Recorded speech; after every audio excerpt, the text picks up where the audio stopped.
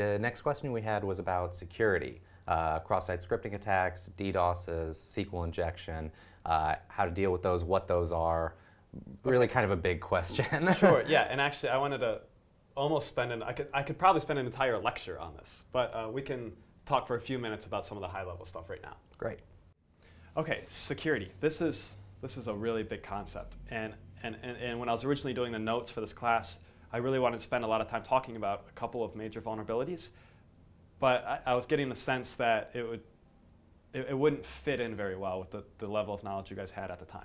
But I can talk about a few of the high level things now that you should get smart about. The first is, is XSS, or cross-site scripting.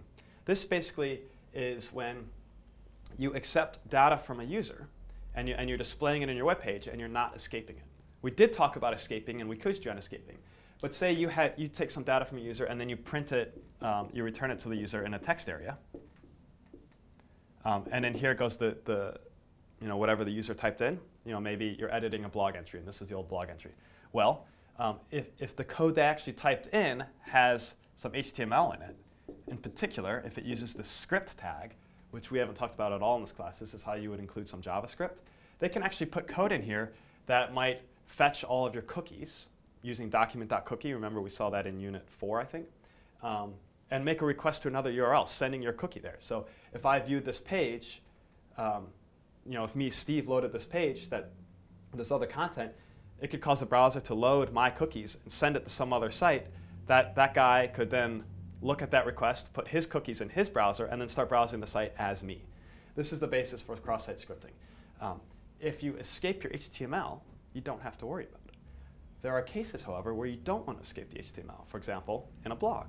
You know, if you, if you trust your users and you want them to be able to enter HTML, for example, if they want to put in links and that sort of thing, then you've got to think carefully. Do I trust the user or do I want to write some fancy escaping that escapes some HTML but like allows links, for example?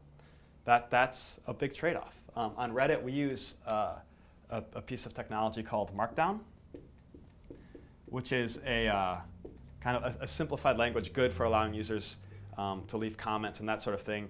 And it's got syntax for leaving links and images, but not um, just random HTML. Well, actually what we did is we allowed links and images, and then we broke all, all other HTML.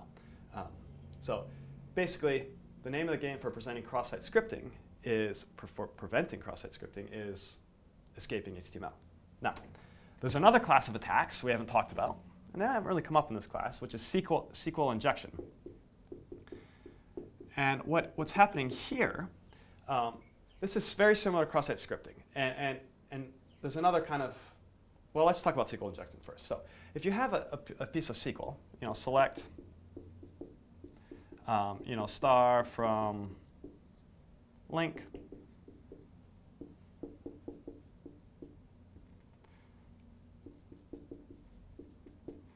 You know, where ID equals X, or where ID equals percent %s. This is why you shouldn't use percent %s in SQL statements. And in App Engine, they've been using that colon syntax, um, which is really nice because they do the escaping for you. But if you were to generate some SQL in Python using the string substitution syntax where you just put in uh, you know, this ID variable and maybe this ID comes from the URL or from the user. You know, if this is a number, you know, this works fine. But what if this were actually a, um, you know, if this were the string, you know, quote, semicolon, um, I think you'd say like, this makes a comment. I'm, I'm forgetting some of my SQL here, but effectively, you know, you, you put in a drop table. It's just like cross-site scripting where if you allow them to put in arbitrary HTML, they can close your old tag you know, through some syntax. It's often a closing quote and a semicolon. Um, or dash dash basically means comment. Some combination of things here allows you to just put an arbitrary SQL into the database. So generally, uh, you want to make sure you're always using uh, a wrapper around your SQL. So App Engine provides that using their, their, GQL, their GQL query object that we've been using in this class. Um, another really popular library I use all the time in Python is called SQL Alchemy. Um, it is spelled like this, maybe. SQL Alchemy is one of my favorite libraries. Um, it, it's at, at, in its simplest use case, the way I've always used it is it's basically got a procedural language for generating SQL. Much like the way App Engine has that language where you can say dot all and dot filter and that sort of stuff. SQL Alchemy provides a very similar interface. Um, it goes one step further and has what's called an ORM, which is an object relational mapping, which basically converts Python objects into SQL so you don't have to think about SQL. But I, I hate using these things because it disconnects you from the queries you're already, you, the, the, queries you're running. The queries are what cause your um, web application often to be slow, and if you don't have direct control of your queries, you're not going to be able to scale quite as uh, consistently. So anyway, but SQL Alchemy is a really nice library. Um, you know, just like the SQL injection, you could just as easily have memcache injection. You know, if you've got, basically if you're taking input from the user and you're converting that into like a cache key, well, depending on what memcache library you're using, if it's not validating the key, you know, they, they could put something in, uh, in a URL or something, for example, that would finish the memcache statement and create a new one and pollute your cache with stuff. Um, we had a really clever guy try to do that to us at Reddit once. Um, fortunately, he was a friend, um, and he told us. Um, there's one other huge class of attacks, and this is actually a relatively modern thing. It's called CSRF. This one's really fun. Um, the general idea is, remember how we've talked about forms? Um, forms have an action uh, attribute. That is where you want to submit the form. Now, we've always been doing things like, you know, slash or not specifying it, which submits the current URL. But you could put a full URL in here.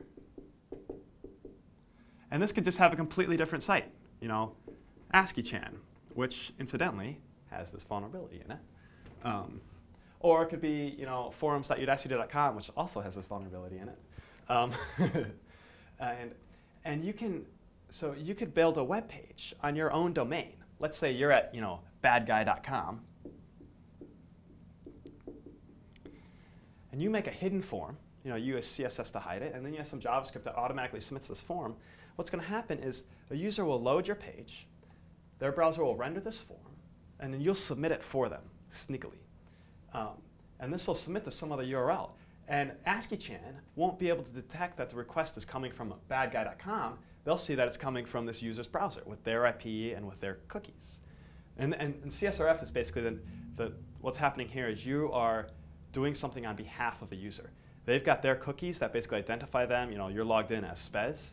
And so somebody can trick my browser into making a request to another site as me. They can do things like submit a form as me, or vote up on a story as me, or enter a bunch of bogus content in the forums as me, um, which is really frustrating. So um, you can actually, if, if, you're, if you're enterprising enough and can trick me into clicking on a link that you control, um, you can make me submit something to ASCII-chan, or you can make me submit something to the Udacity forums. And if you do that, you know, we'll reward you or something. Um, now, the way you prevent against this is on your own site, you have to include um, basically hashes or some sort of secret in your own forms. So if I've got a, a, um, a URL, you know, let's say it's a new page. This is my blog submitting URL. The handler for this URL needs to look for a hidden input that only exists on the form itself. Um, it's going to be hard to explain this uh, in, this, um, in this format, so what I would advise you to do is just Google for CSRF.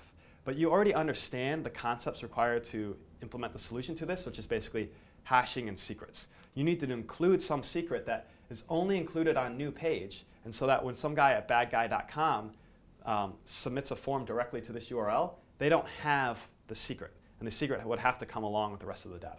So um, CSRF, it's a really fun attack. Um, you can find it on just about every website online.